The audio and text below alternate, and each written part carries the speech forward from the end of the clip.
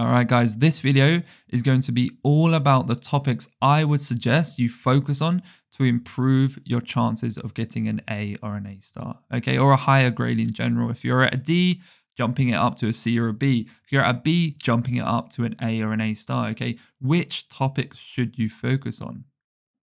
Now, your time is incredibly precious. Where you allocate your revision time needs to be carefully considered, okay? Most of you guys are going to be doing three subjects, potentially four, and where you divide your revision time is incredibly important.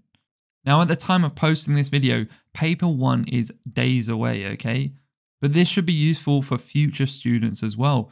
Remember, papers are incredibly similar year after year. If you guys have been doing your past papers, which I really hope you have, you know how similar they are, okay? They repeat the same sort of questions year after year and they use the same topics.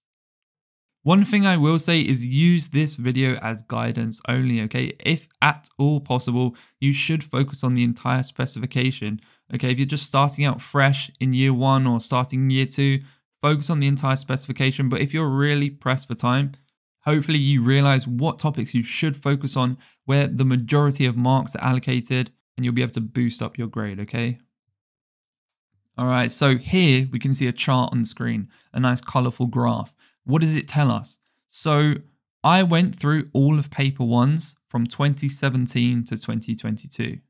So six papers in total. And I looked at each question and I allocated it to a specific topic from the AQA A-level chemistry specification.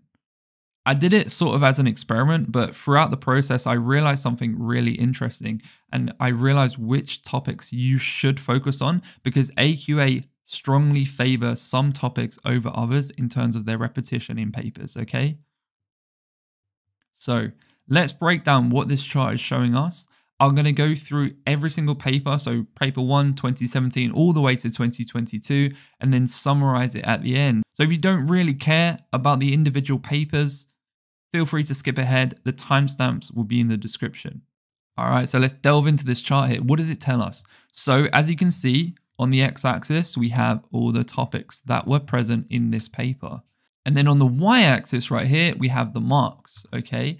So for example, transition metals was allocated 23 marks out of a potential 105 total marks for this paper, okay? Right, so that's pretty simple, okay? Just a column chart with the topics along the bottom, how many marks they were allocated. What's this right here?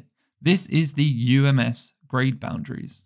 UMS just stands for Uniform Mark Scale. Okay, so essentially, how difficult was the paper on average as a nation? And then they generate these grade boundaries. Okay, so for example, this year in 2017, an A star was 88 marks out of 105, an A was 75, B 62, etc. Okay.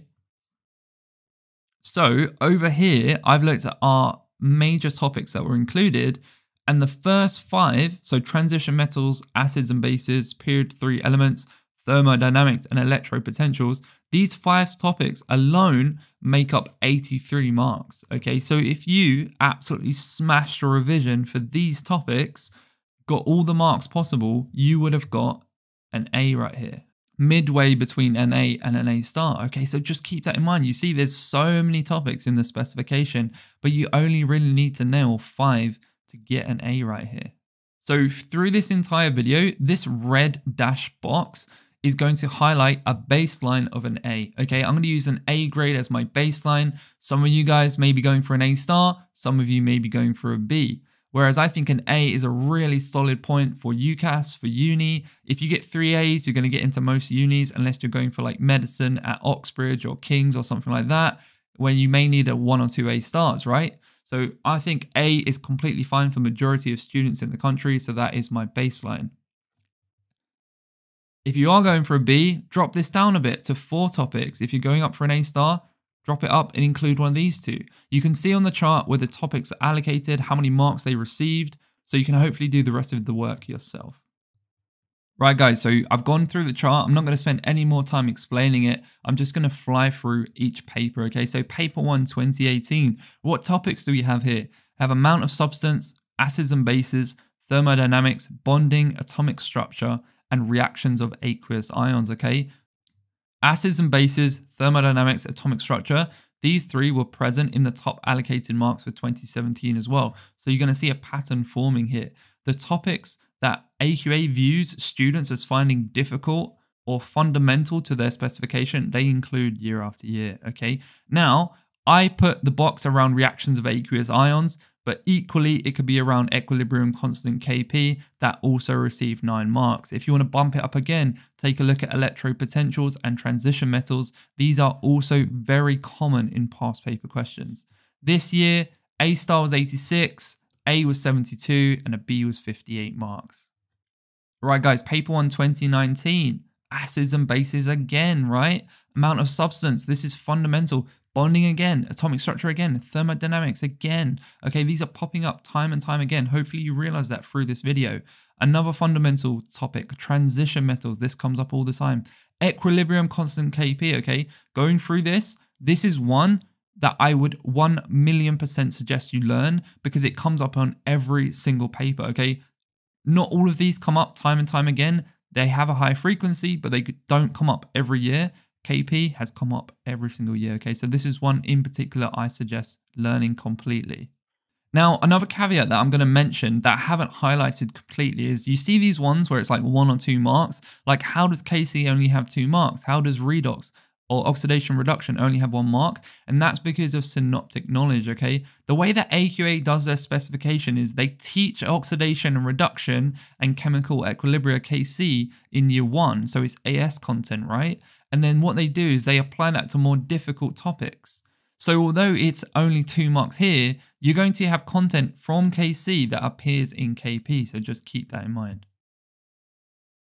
So things like equilibrium, Le Chatelier's principle, redox, oxidation, reduction. These are fundamental principles that are applied to multiple topics. So just keep that in mind.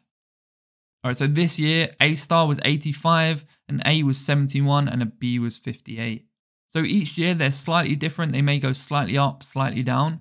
But notice here, 105 guys, you can lose 20 marks and still get an A star. All right, but just keep that in mind. You, you don't have to be perfect. You can lose marks and still get a really good grade. All right, guys, hopefully you're seeing the pattern here. What are our top five to guarantee our A, which in this case is only 68 marks to get an A. This was a hard paper.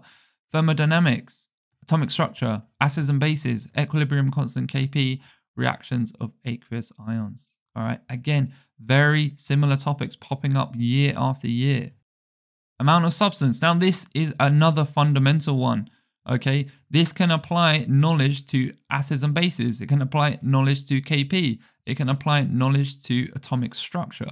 Okay, if there's calculations involved, this is going to be fundamental. So amount of substance is key for most topics, to be honest, especially across physical chemistry. 83 marks for an A star, guys, even lower than paper one 2019. All right, guys, 2021. Getting even harder here. A star is only 82 marks right here. A was 67, B was 54. What are the highest marks allocated to what topic? Again, guys, thermodynamics, acids and bases. This one, electrode potentials, had a lot of marks in this paper, so that was a bit of a weird one. Period three, again, in organics, you've got halogens, period three, and transition metals. Those are the three most common ones. And transition metals, as, as I just said, this is also common, okay? These are the highest marked paper. As you can see, 20 marks for thermodynamics. That is mental. Acids and bases, also really, really high, okay? Just keep in mind, like I said, amount of substance, even though I only have it as six marks here, this is built upon in other topics, okay? You need to understand your calculations, rearranging equations, all that good stuff. All right, paper one 2022. This is our last one. A star was 81, A was 65, B was 52, getting even lower, guys. What topics were allocated highest marks in order to guarantee us getting an A right here? Acids and bases again, transition metals again, atomic structure, group 7, amount of substance this time was more chunky, period 3 elements. Okay, and you also had these two right here that also had 9 marks, bonding and equilibrium constant KP. These could be interchangeable with this. As I said, guys, try and focus on KP. Okay, this comes up in every single paper, and I would not be surprised if it came up in 2023. All right, guys, this is the total of all papers. So what is the king? By far, acids and bases, okay? almost 20 marks ahead of the next one, thermodynamics. All right.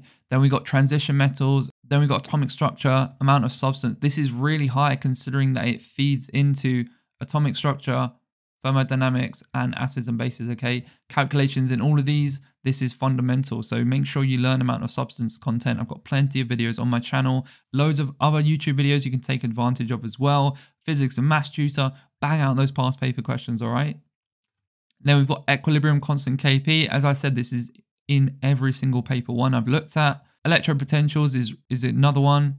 And then it starts to taper off, okay, we have period three elements, group seven, bonding, reactions of aqueous ions. And then it dipped off drastically, okay. The next one was Kc and it only had 16 marks. 16 marks to Kc across six papers. I just left it off. So I'm focusing on these. All right, so this is a table format. What we can see here again is the total marks that was just shown on that chart. Now, as you can see here, this is not in order. It goes from 53 to 41, then back up to 61.